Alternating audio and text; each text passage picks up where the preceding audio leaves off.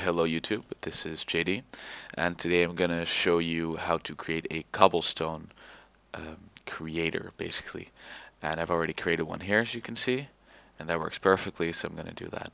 Uh, to make this um, you'll need glass, lava and water uh, which is not too hard so we're just going to create this real quick. Um, first I'm going to make the, um, the ground level basically and uh, oh what this does is it gives you the space for one cobblestone right here, some water right here, and some lava right there. So I'm just going to put water in this. As you can see, it just flows uh, through here.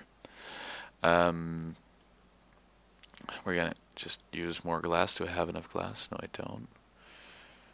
We're going to use this glass here.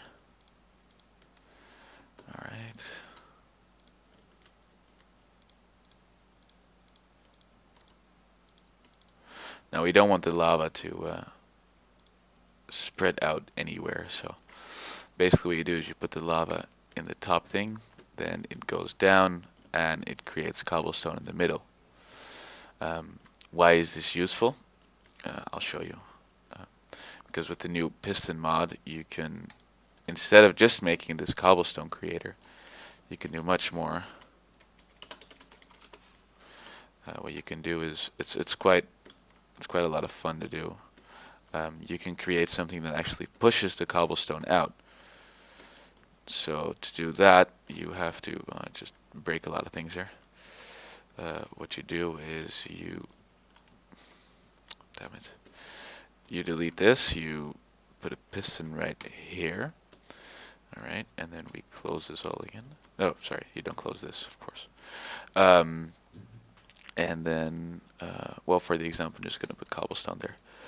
And um, then we're gonna put water in here again. And uh, yeah there we go. And we're gonna close this up again. Um, there we go. So we can put lava up in here. Again there we go. And it creates cobblestone again. Uh, however um, you can there you go. You can use um, some redstone to let's clear out this area real quick. Alright, you can use redstone to fire this up to make a loop that just pushes this out all the time. And with that you can make uh, my next project which is a self-building bridge that is working all the way over there.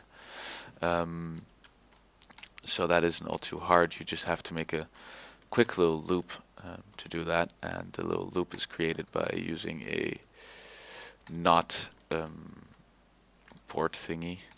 So everything that goes in negative comes out positive, uh, and the other way around as well. Um, you just have to create some delays in this because you need to give the um, the cobblestone creator some time to create cobblestone because that sometimes takes some time. Um, yeah. All right. No, that's not what I wanted. I'm just going to delete this as well. We're to put another repeater in here. Uh, I've learned that four repeaters is the um, perfect amount for this. So we're just going to use four repeaters here. Bam, and then one more all the way over here. There we go. And as you can see, Oh, it's a little fast. Oh, yeah, right. So, my bad, my bad, my bad. Um, we put them all on the longest delay. So now it gives the um, creator or the lava some time to combine with the water and it automatically um, makes cobblestone. And there we go. Now it's going to break or something. Oh. Yeah. All right. There we go. It's not going to push anymore because it's stuck here. Uh, on the sand. Anyway, that's how you create a uh, an automatic um, cobblestone creator and also uh, a way to push it out with your piston. Thank you for watching. This was JD.